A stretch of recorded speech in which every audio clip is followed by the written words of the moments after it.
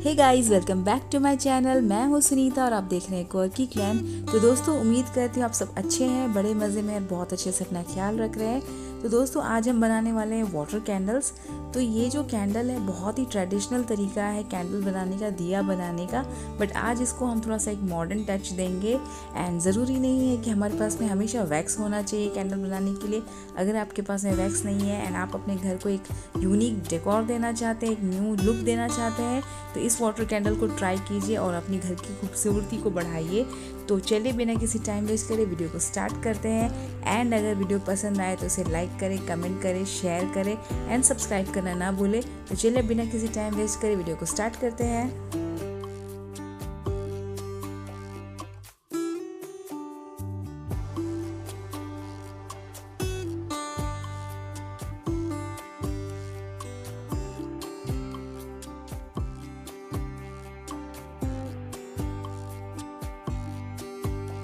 तो दोस्तों water candles बनाने के लिए सबसे पहले हमें चाहिए रहेगा कांच का ग्लास तो आपके पास में कोई भी ग्लास अवेलेबल है, वो चलेगा। इस तरह से टॉल भी चलेंगे एंड ये राउंड शेप वाले भी चलेंगे। तो मैं आज ये राउंड शेप वाला यूज़ कर रही हूँ। उसके बाद में मैं बॉटम के लिए कुछ पेबल्स भी यूज़ करने वाली हूँ।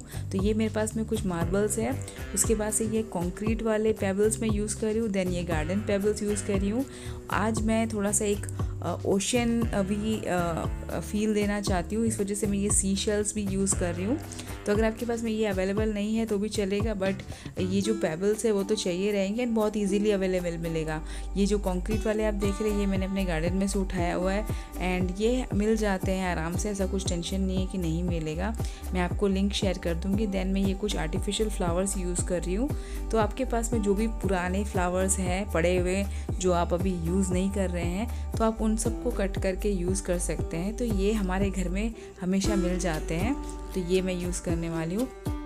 देन हमें चाहिए रहेगा ये कोई भी कुकिंग ऑयल तो आप थोड़ा सा चीपर रेट वाला लीजिएगा, ऐसे नहीं कि सफोला या सनड्रॉप यूज़ कर ले अदरवाइज़ वो वेस्टेज ऑफ़ मनी हो जाएगा। एंड हमें चाहिएगा एसेंशियल ऑयल तब कोई भी पसंद का, कोई भी फ्लेवर का आप एसेंशियल ऑयल यूज़ कर सकते देन हमें चाहिए रहेगा ये पुराने बॉटल्स जिसका मैं बॉटम कट करके वाटर कैंडल्स में यूज़ करने वाली हूँ इस तरह से छोटे वाले भी हैं। तो जितना छोटा रहेगा, उतना अच्छा रहेगा। तो चलिए हम इन्हें कट कर लेते हैं।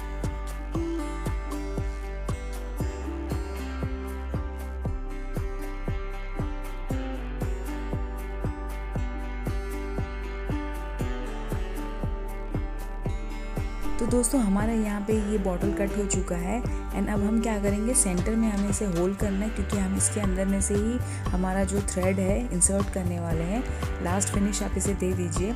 उसके बाद से मैं क्या करूँगी? यहाँ पे मेरे पास ये स्क्रू ड्राइवर है, जिसे मैं थोड़ा सा गर्म किया हुआ है। मैंने एकदम अच्छे से गर्म कर लीजिए। एंड एकदम आराम आराम से इसे होल्ड कीजिए। ध्यान रखिएगा कि आपको कहीं हर्ट ना हो जाए, कहीं पर आप बर्न ना हो जाए तो उस चीज़ का आप ध्यान रखिएगा।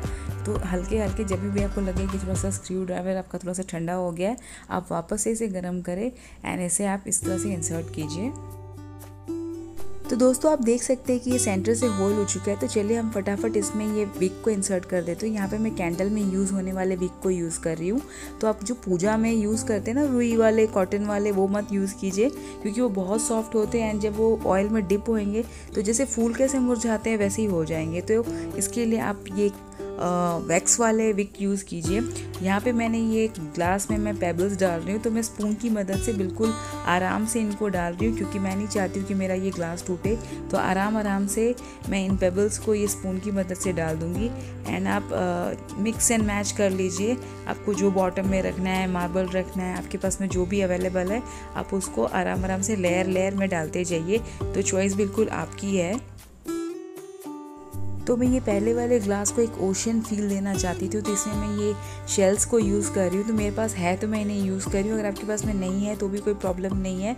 देन मेरे पास में ये ओल्ड सेकेलेंट प्लांट है जो आर्टिफिशियल है, जो मेरे पास काफ़ी टाइम से पड़ा हुआ था तो मैं उसे भी इसमें यूज़ कर रही हूँ। तो जब इसमें जब हम पानी डालेंगे तो एक अच्छा सा ओशन वाला फील आएगा तो ये अच्छा लगेगा।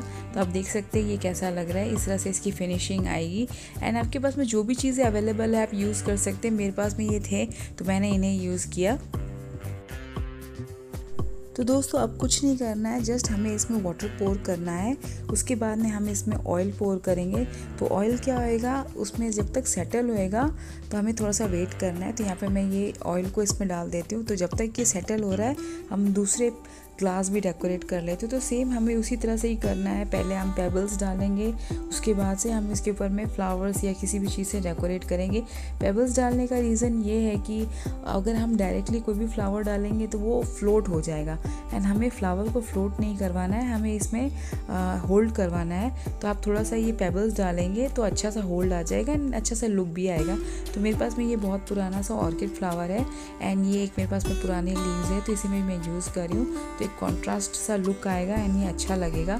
तो चलिए इसको हम इसमें डाल देते हैं। एंड अगर आपको लगेगा कि थोड़ा सा इसका एडजस्टमेंट सही नहीं हुआ है तो आपके पास में अगर कोई स्पून हो या कोई भी पेंसिल या कुछ भी हो, उससे आप इसे सेटल कर ले। अच्छे से इसके अंदर में पेबल्स में आप इसको इंसर्ट कर दे, ताकि जब हम इसमें वाटर डालें तो ये फ्लोट ना हो। एंड मैं थोड़ा सा इसके ऊपर में भी पेबल्स डालने वाली, ताकि ये थोड़ा सा और अच्छा सा परमानेंट टाइप सा हो जाए। तो चलिए मैं ये गार्डन वाले पेबल्स इसमें डाल देती हूँ। तो दोस्तों, हमारा ये सेकंड वाला ग्लास भी ऑलमोस्ट रेडी है। इसका लुक भी बहुत अच्छा आ रहा है। ये वीडियो में इसका जो ब्यूटी है, वो जस्टिफाई नहीं हो रहा है। मैं सीरियसली बता रही हूँ। अब जब आप इसे बनाएँगे, तब आपको पता चलेगा ये कितना ब्यूटीफुल लगता है। एंड पानी डालने के बाद तो ये और भी बहुत ज़्यादा सुंदर लगता है। तो चलिए, ये मैं तीसरे वाले ग्लास को भी डेकोरेट कर लेती हूँ। तो मेरे पास में कुछ पुराने चेरी ब्लॉसम फ्लावर्स पड़े हैं तो मैं उसे भी यूज़ कर रही हूँ। क्योंकि मैं आपको मैक्स टू मैक्स आपको ऑप्शन देना चाहती हूँ।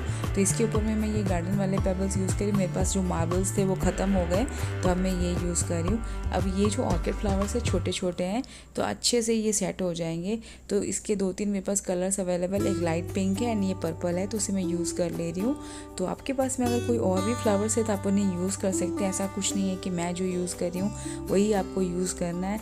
एंड अपना तो एक ही सिस्टम है, पुराने में से आपको अच्छे से अच्छी चीज़ें बनानी है।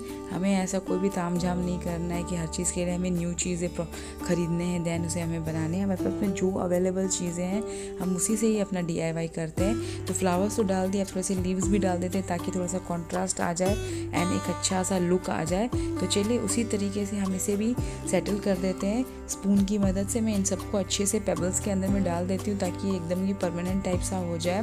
एंड जब मैं पानी डालूँ तो ये फ्लावर्स फ्लोट ना हो तो अब इसमें हम पानी डाल देते हैं। तो अब देखेंगे कि पानी डालते इसका लुक कितना अच्छा हो जाता है। तो एक एक करके मैं ये दोनों ग्लास में पानी डाल दूँगी उसके बाद से हम इसमें ऑयल को पोर करेंगे।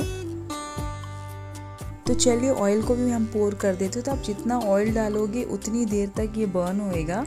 बट डिपेंड करता है कि आपके जो ग्लास है, वो कितना बड़ा है। तो मैं आपको बताती हूँ, मैंने कितना ऑयल इसमें डाला है। आप इसको डालने के बाद आपको थोड़ी देर तक के लिए वेट करना है। उसके बाद से मैं इसमें ये एसेंशियल ऑयल भी डालूँगी। तब जब हम इसको बर्न करेंगे तो इसमें से एक अच्छी सी खुशबू आएगी। तो ये तीसरे वाले ग्लास में मैं वाटर को पोर कर देती हूँ। देन अगेन सेम प्रोसेस है। हमें इसमें ऑयल पोर करना है। एंड हम देखिए, मैंने इतने अच्छे से इसको प्रेस कर करके डाल दिया तो मेरा फ्लावर भी फ्लोट नहीं हो रहा है। देन अगेन इसमें भी मैं ऑयल डाल रही हूँ। हल्के से हमें इसे वेट करना है ताकि जब तक ये सेटल हो, पानी और जो ऑयल है, आपस में सेपरेट हो जाएँगे। देन अगेन इसमें मैं एसेंशियल ऑयल डाल रही हूँ। मैं चाहती हूँ कि अच्छा सा खुशबू आए। तो यहाँ पर मैं बताती हूँ कि देखिए, आप देख सकते हैं कि मेरा जो ऑयल है सेटल होने के बाद में इतना जम गया है। तो आराम से ये एक से दो से तीन घंटे तो मेरा कैंडल बर्न होने वाला है। कोई टेंशन नहीं है। उसके बाद से जो मैंने थ्रेड इंसर्ट करके रखा था, उसको मैं इसमें थोड़ा सा ऑयल में डिप करती हूँ। देन हमें उल्टा करके इस ऑयल के ऊपर में इसे हमें रख देना है एंड इसे हम बर्न करेंगे। ये बिल्कुल सेफ़ है, कोई प्रॉब्लम नहीं है। ये मैंने करके देख लिया, उसके बाद से ही मैं आपको ये बता रही हूँ, इसमें कोई टेंशन नहीं है। दूसरे वाले पे भी हम इसी तरीके से इस ग्लास के जो बॉटल का जो हमने कट करके यूज़ किया था, उसको हम इसमें डिप कर देंगे। तो आप देख सकते हैं कितना इजी है वाटर कैंडल बनाना।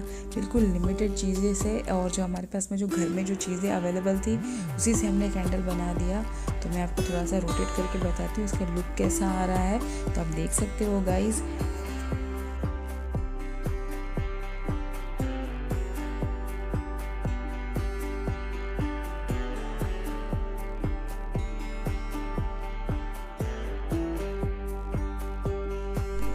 चलिए दोस्तों, मैं ये वाटर कैंडल को आपको बर्न करके बताती हूँ। एंड इसे बर्न करते ही मेरे घर पे जो खुशबू फैली है, बहुत ही ब्यूटीफुल खुशबू, बहुत ही सुंदर खुशबू एंड पूरा घर खुशबू से भर गया एंड ये ब्यूटीफुल भी लगता है। तो आप इसे ज़रूर ट्राई कीजिए, बिल्कुल यूनिक और बहुत ही ब्यूटीफुल लगता है एंड बिल्कुल सस्ता भी है एंड सबसे मोस्ट इंपॉर्टेंट ये बिल्कुल सेफ़ है तो इसे ज़रूर ट्राई कीजिए। अगर आपको ये मेरा ये वीडियो पसंद आया तो उसे लाइक करें कमेंट करें शेयर करें सब्सक्राइब करना ना भूलें। तो मिलती हूँ नेक्स्ट बहुत जल्दी। तब तक के लिए बाय टेक केयर